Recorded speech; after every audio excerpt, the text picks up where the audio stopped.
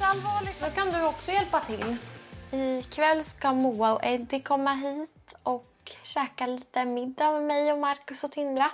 Det är lite roligt att jag bara sitter och tittar på. Innan var det väl mer så här. Innan Tindra kom så hjälptes vi ändå åt att laga mat lite.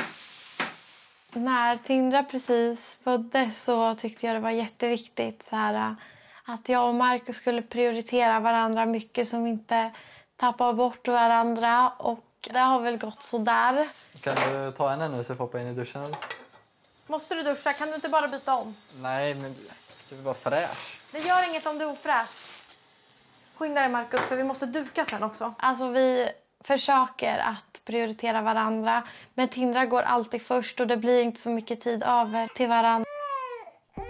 Jag har inte tid med att ta upp henne. Vi har ju kanske så här småtjafsat mer nu.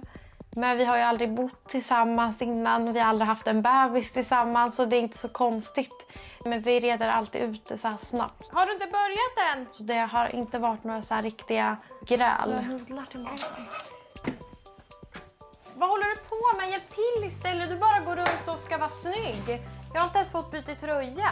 Ja, jag kommer, jag kommer, jag kommer. Vi har fortfarande liksom en jättefin och bra relation. Bara att vi kanske inte alltså, har lika mycket tid till att hålla på, kramas och gosas och vara jätte så här, romantiska hela tiden. Utan det blir mycket fokus på Tindra. Och när vi väl typ myser och sådär så är hon med oss.